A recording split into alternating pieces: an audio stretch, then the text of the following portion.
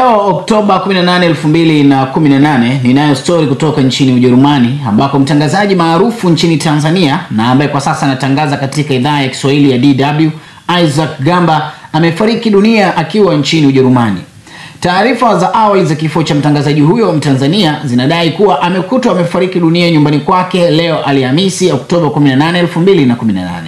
Mmoja wa marafiki zake amesema kuwa alikuwa Gamba hakuonekana kazini siku ya jana pamoja na juzi.